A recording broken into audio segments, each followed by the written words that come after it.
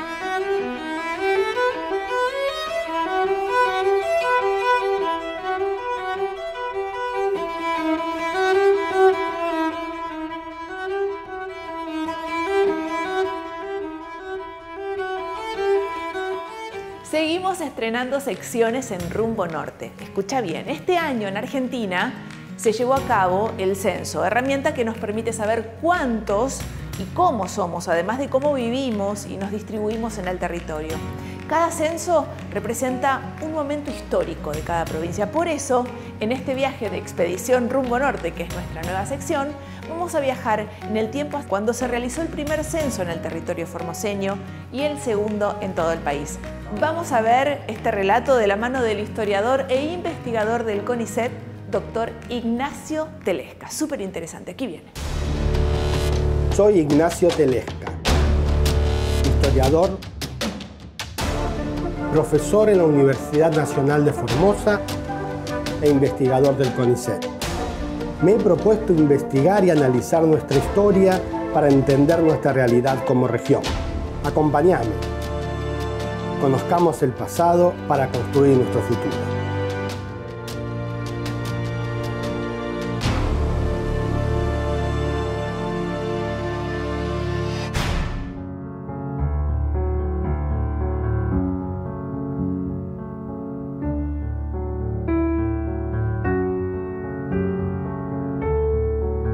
Estamos frente al monumento de los inmigrantes acá en el centro de la ciudad de Formosa. Como ocurre en toda Argentina, a fines del siglo XIX, la presencia de los europeos fue importante para la construcción del Estado Nacional.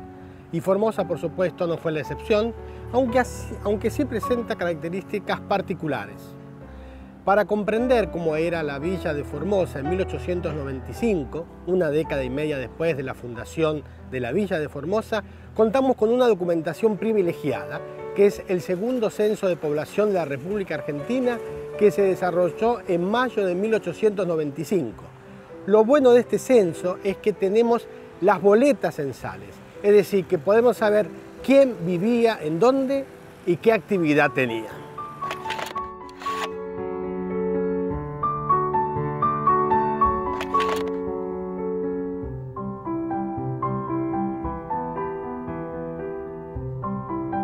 Si le echamos un vistazo a la boleta, podemos apreciar los datos que el censista tenía que completar.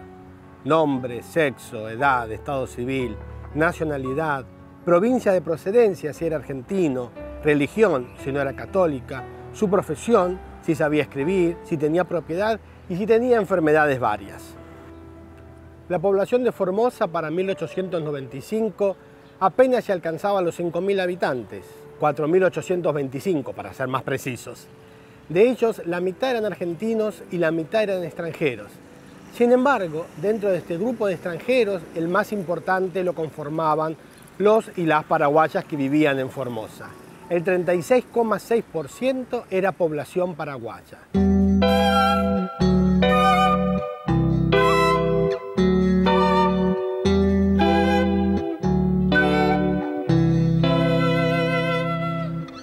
Esto es entendible de comprender teniendo en cuenta que tras la finalización de la guerra contra la Triple Alianza, el país, Paraguay, quedó devastado y económicamente destruido.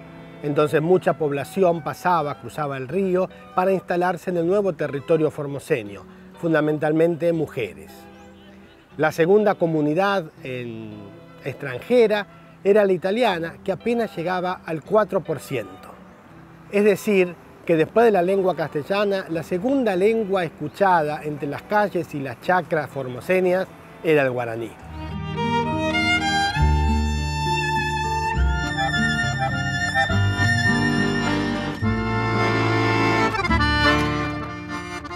Pero las boletas censales también nos presentan una realidad que los resultados generales no registran.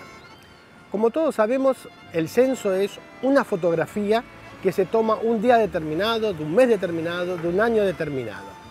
Si bien la fotografía nos puede parecer que nos presenta una realidad fija, determinada y objetiva, tenemos que tener en cuenta que los registros censales son hechos, construidos por personas, las personas de fines del siglo XIX. Y todo censo registra lo que el Estado quiere registrar y la imagen de Estado que quiere dar.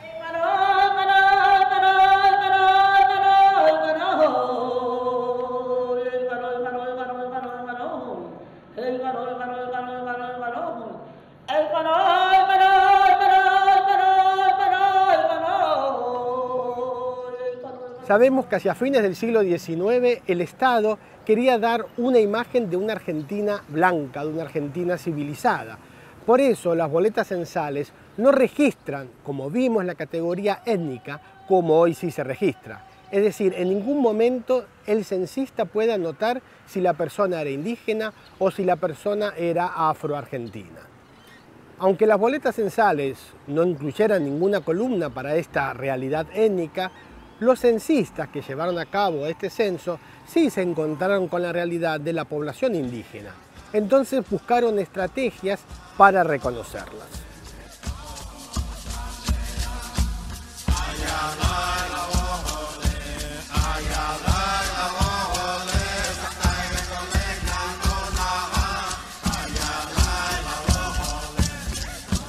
En Formosa se dio esta situación en tres casos.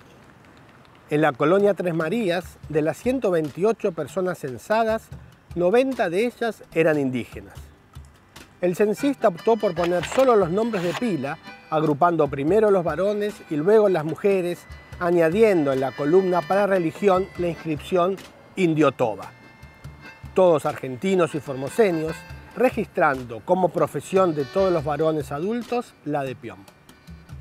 Un segundo caso lo tenemos en Colonia Bruvier, donde se censaron 293 indígenas. La estrategia del censista para identificar a la población indígena fue la de introducir en la carátula del cuaderno a qué tipo de población se refería y luego registrar los nombres indígenas de origen com.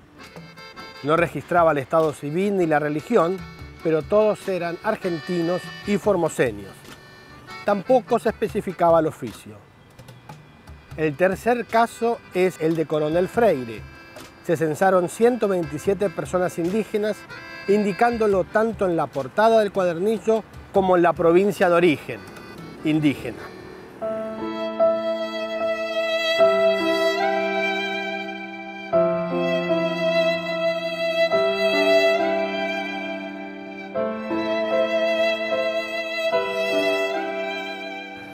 En total, se censaron 510 indígenas, lo que representaba el 10,6% de la población total. Estos indígenas trabajaban en las chacras y por supuesto no eran todos los indígenas que vivían en el territorio nacional de Formosa. Sin embargo, en el conteo general los indígenas no fueron reconocidos como tales, sino que pasaron a engrosar la categoría de argentinos y de formoseños. Esto nos indica que Formosa también se construyó con la mano de obra indígena, por más que hayan sido invisibilizados en el Censo Nacional de 1895.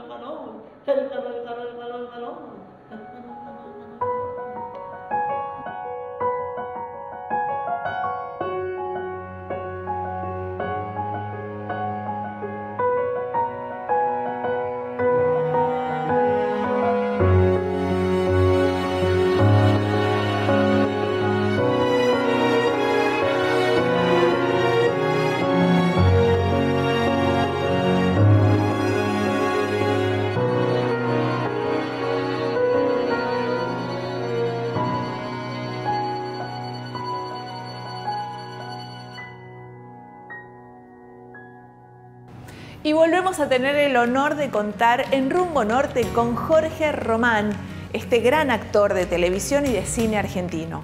En esta oportunidad, Jorge nos cuenta su historia, ese camino que recorrió para poder cumplir sus sueños, descubrir nuevos rumbos y formarse tanto desde lo académico como desde lo artístico. Sin más, los invito entonces a ver y escuchar a Jorge Román, quien tiene un gran compromiso con el desarrollo de la industria audiovisual de su querida Formosa. Aquí viene.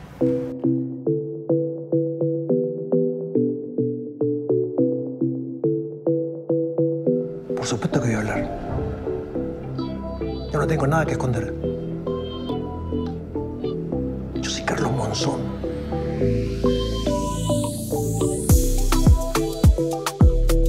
Creo que la influencia fuerte vino de doña Silvina y de don Luciano, mis papás, que eh, en Palo Santo, cuando éramos niños y venía una película al pueblo, eran los primeros que estaban presentes, ¿viste? Cuando veías, eh, cuando niño, acá, cine argentino, cine, cine, cine, el cine argentino y el cine Italia, era un, un refugio para mí mágico de cosas. Cuando venía a casa yo me daba cuenta que había ahí algo en ese mundo que yo quería, que, que yo quería estar ahí. De hecho, me habré, sobre todo en la adolescencia, yo me encontré muchas veces sintiendo dentro de mí que quería estar ahí, viste, en la pantalla. Cuando ya me estaba por recibir de profesor en ciencia de la educación, la docencia es una puesta en escena, hay que hacer una puesta en escena. Cada vez más era fuerte en mí el impulso de decir, quiero ir a Buenos Aires a ser actor profesional. Yo no le conté nunca a nadie que me iba a ser actor profesional. Y yo remarco esto porque eh, por dos cosas. Uno, yo me, iba a Buenos Aires no para ser un actor aficionado en nada, sino yo quería vivir de la, de la profesión. 30 años atrás, en Formosa, si vos le decías, me voy a Buenos Aires para ser actor profesional, es decir, claro, la primera pregunta que te hacen es, bueno, eh, ¿qué contactos tenés? ¿Qué padrinos tenés? Y después está el comentario popular que es, ¿cuándo vas a salir en la tele? Vos me decías que había un casting allá, yo me iba. Hay una edición allá, me iba. Necesito el ejercicio de cámaras, de cables, nunca hice. Bueno, a la escuela de cine tal, listo, me iba, me anotaba ahí. Lo tomaba como curso.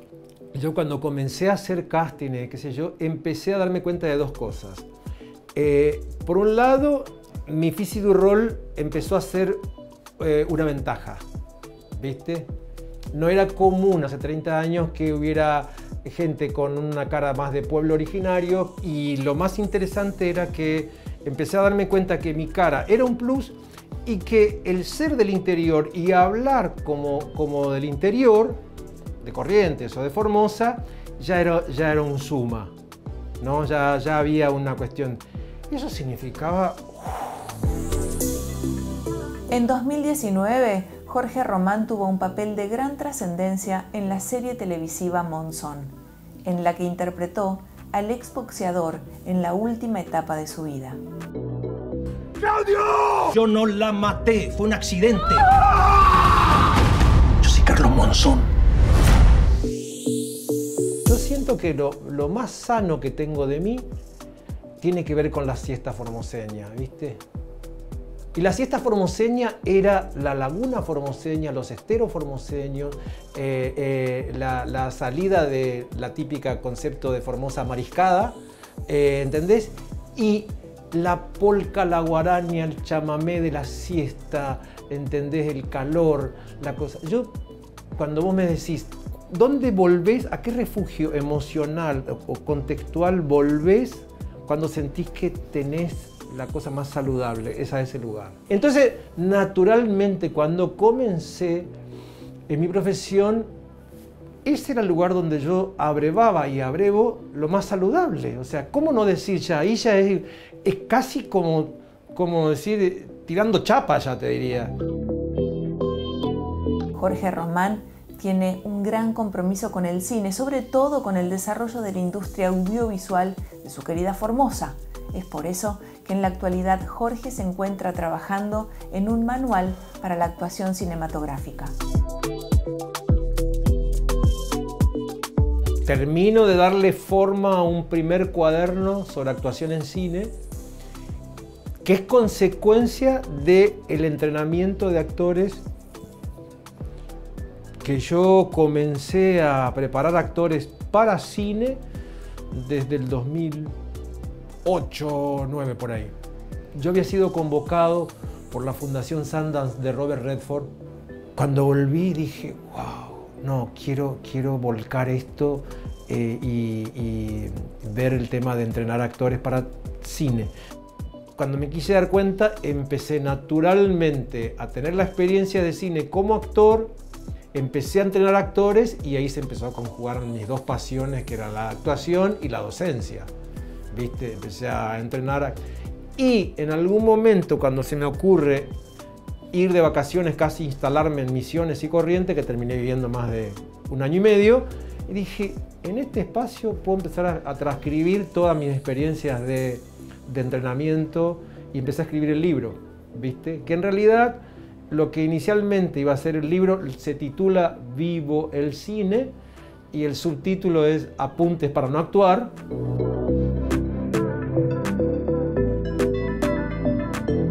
Yo creo que es un momento riquísimo para la región y particularmente para Formosa, porque se da algo que es, está en el centro de toda esta confluencia eh, de guaranítica del sur de Brasil, de Paraguay y toda la influencia étnica muy fuerte del Chaco salteño, la gran usina de, esta movida en esta región va a estar en Formosa. Formosa y región.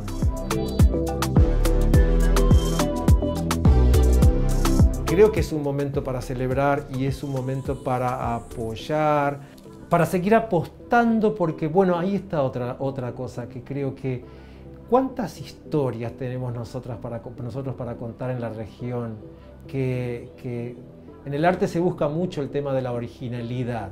Entonces, bueno, es momento de contarlo, momento de, mostrarle, ojalá que sea esta, esta expresión de mostrarle al mundo.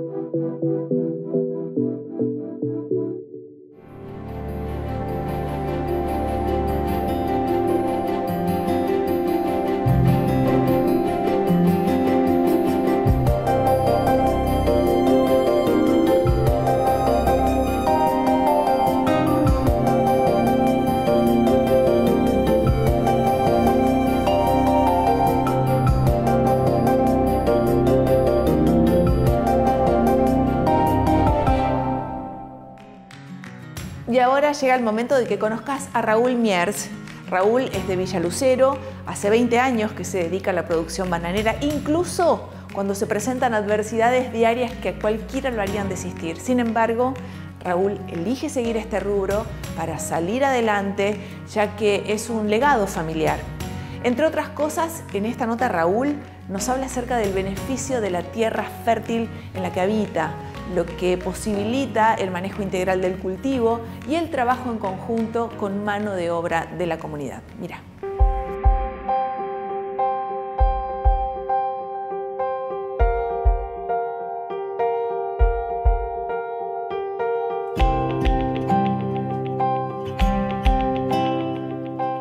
Mi nombre es Raúl Mierz, soy acá de Villa Lucero, provincia de Formosa, soy productor bananero.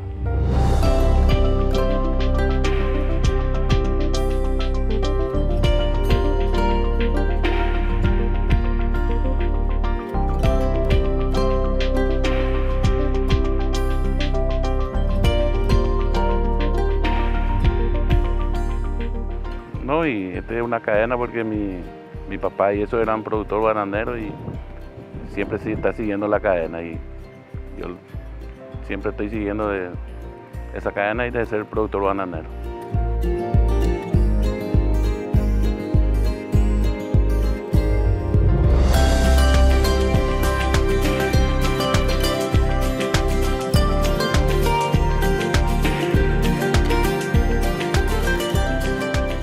La producción de banana es una de las principales actividades del departamento Pilcomayo. En esta región hay mucha cantidad y buena calidad lo que le permite posicionarse en el mercado interno con proyección de exportación.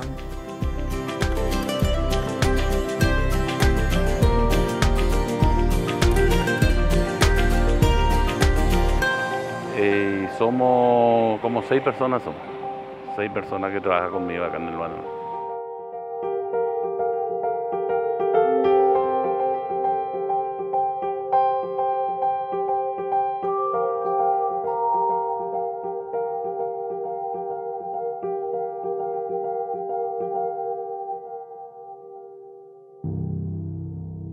Y sí, empezamos de, de una hectárea y después íbamos sumando más, hacer más hectáreas.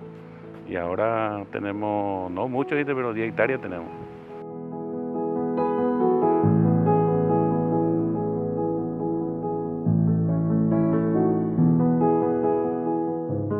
No, y que no, no, no, es fácil producir banana, ¿viste? porque por el tema del, del, del tiempo y eso, ¿viste? que tener mucho riego, ¿viste? primero tener mucha agua tampoco no le viene bien y sin agua tampoco no produce y tener viento, tener la helada y eso es el riego que tenemos nosotros acá el producto. Pero le vamos luchando.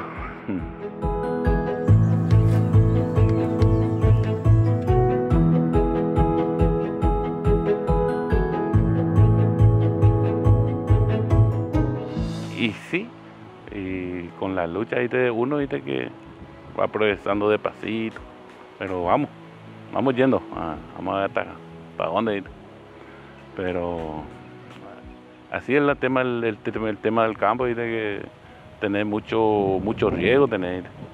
Por ejemplo, este año no vino mal la seca, el invierno la seca, el viento que echa mucha producción, en pleno producción. Y esos son los riesgos que tenemos nosotros.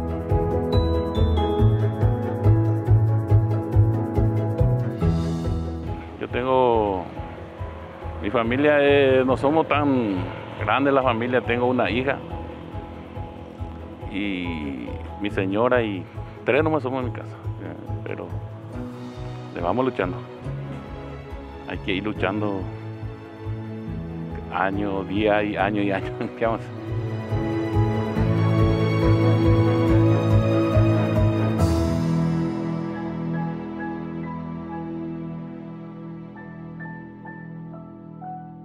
No, nosotros tenemos acá que vienen patrones del Chaco, de Resistencia Chaco, Corriente, algunas de Buenos Aires, y gente que vienen a comprarnos la, producción. acá.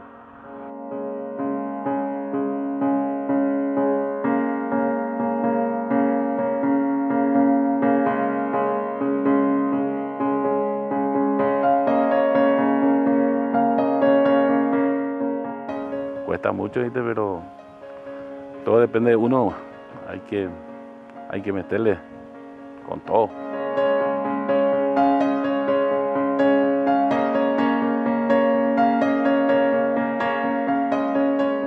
Y mira, para mí que sí, porque que yo ando por todos lados también y no sé, no encuentro como nuestra zona acá, que es una zona muy productiva.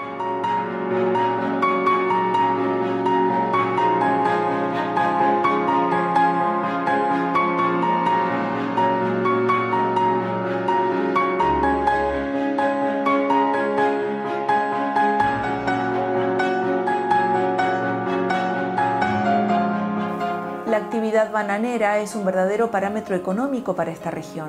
Formosa reúne casi 800 productores de bananas y unas 4.800 hectáreas destinadas a este cultivo.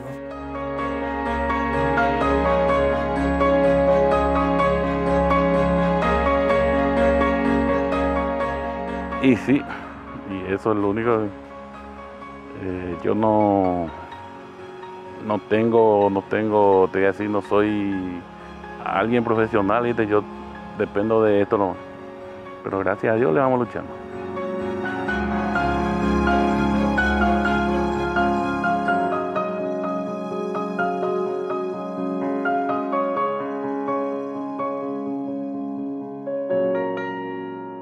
Cuesta mucho, ¿viste? pero todo depende de uno. Hay que, hay que meterle con todo. Pero siempre hay algo lindo.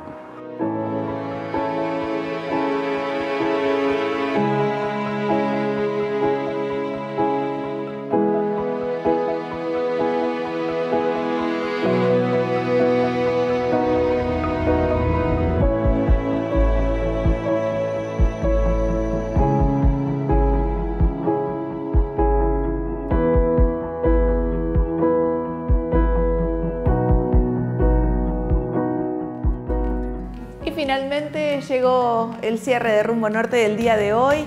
Esta media hora, como siempre les digo, pasa volando. Eh, será porque realmente la disfrutamos mucho. ¿eh? Recuerden que podemos seguir en contacto a través de nuestro Instagram. Nos encontrás muy fácil.